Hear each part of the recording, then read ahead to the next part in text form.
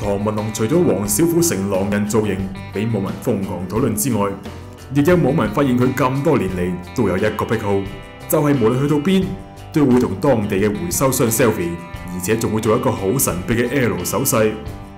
佢接受騰訊大件網香港專訪時，就話呢個手勢係想做垃圾分類回收嘅三角標誌。不過因為通常一手揸住手機 selfie，就只可以另一隻手做個角。環保，請支持環保。其實係咁樣嘅啊，因為成日 selfie 咯，所以咁樣。咁我做得多，其實應該有啲人都知嘅。被內地網民戲稱做環保超人嘅佢，一講起環保就口水多過浪花，話好希望可以以身作則，呼籲身邊朋友要多啲留意地球生態同珍惜資源，仲話唔介意人哋笑佢行徑似傻仔啊！